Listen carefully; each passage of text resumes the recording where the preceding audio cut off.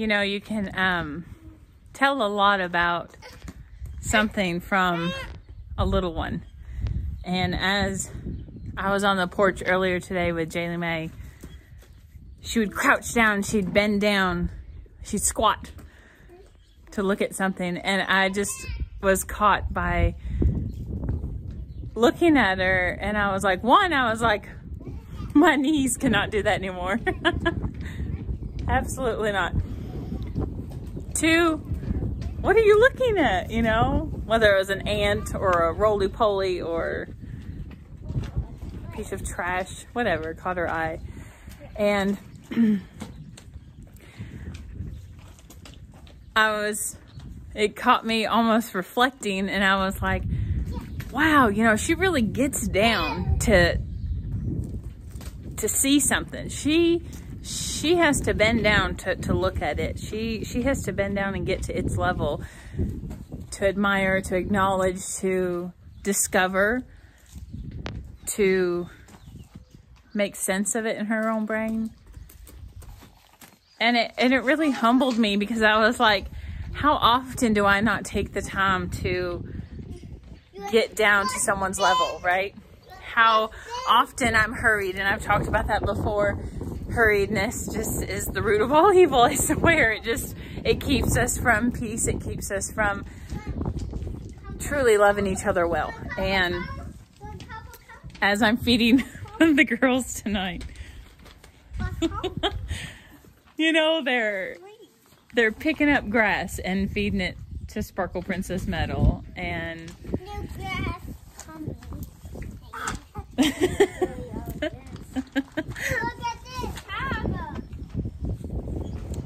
uh, just, um, maybe the old age, 30 something young.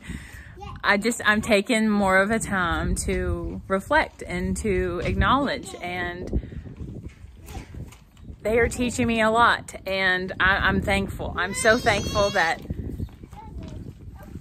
I'm honest with myself enough to stop, put the phone down. My kitchen is a wreck. My kitchen's a mess. If someone were to come over right now, they'd be judging me hard. Yes, but I have purposefully left it a wreck today because I've chosen to be present. I was like, you know, I can just wash the dishes when they're in bed, even though I'll be exhausted. What, well, I don't want to miss this. I don't want to miss any part of this.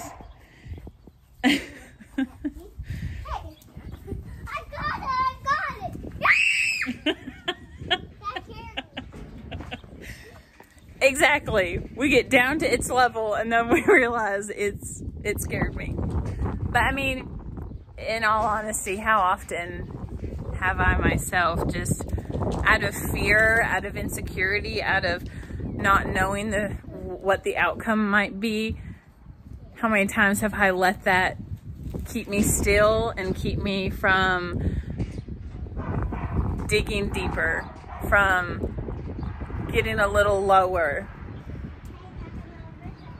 That's why God talks about humbling yourselves. You will never experience the richness of his kingdom if you don't humble yourself first. And then, you know, the Bible talks about your eyes are open to, to his glory and you just, you can't, you can't even begin to understand the magnificence of his glory if you first don't get down to his level. I mean, yes, he's not sitting low. He's he's everywhere. He's high above. but like Angelina screaming, I'm not scared. I'm not scared.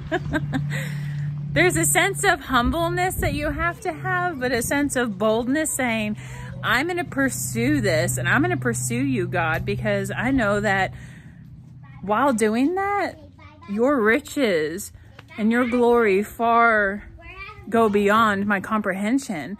And so that's why the Bible says that, you know, he says, do not fear. Well, why would I fear if I'm letting him lead my life, right? Why would I fear if, if he's saying you need to get back to being children? Stop thinking, stop overthinking. this mess that you might have created or this mess that you found yourself in or how everything has gone not how you thought it would go Get down. Stop seeing it from your lofty place. Get down, examine it. And in that humbling, he magnifies things. And maybe he lets your heart know where you could have handled that situation better. Maybe you do need to reach out to that friend. Maybe, you know, that broken relationship can be rekindled. But there's a part for us to, to learn out of that, you know? And so I have, I'm just thankful today. I'm thankful for, it's a cloudy, messy day outside and some of us were in raw, raw moods, but then, you know, we got outside, we started doing stuff, we started playing with each other. We started saying, you know, the work that I was doing inside the house really wasn't that important, but let's go outside and be face to face. Let's get down to each other's level. Let's let's see life how you see life because that's all that really matters, right? We had a Mommy. Yes. we had a waiter once tell us we were on our way to my husband's grandmother's funeral in Detroit last year. And we stopped in Louisville at a Chick-fil-A, the four of us to eat. And the waiter, it was just one of those sweet times where the waiter, he, he, he just stood there at our table and he just looked. He just looked at us. and he said something to the phrase of, this is all that matters. I mean, he just stood there. I was like, we're good. We have everything we need. and he, in a sense, was like, yes, you do. You have everything you need. This is the greatest gift you could ever receive is being together.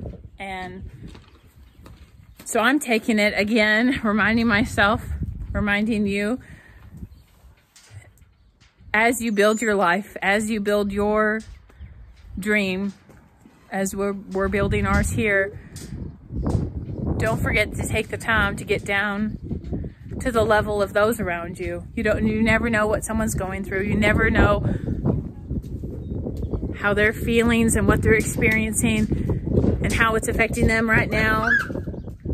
And you may be distraught by it, kind of turned off by it. But God is saying, you are only here for my glory and my glory is to spread love and my love to everyone. And so you have the chance to actually help someone today just because you've taken the time to sit, listen, explore, and eventually, you know, that just makes everything a better place. So be blessed, friends.